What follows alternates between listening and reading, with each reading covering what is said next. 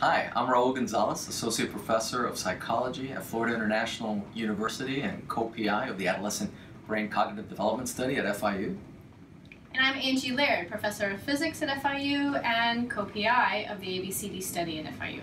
We're here today to speak with our representatives and members of Congress to let them know about the very exciting things that we have going on at FIU for the Adolescent Brain Cognitive Development Study.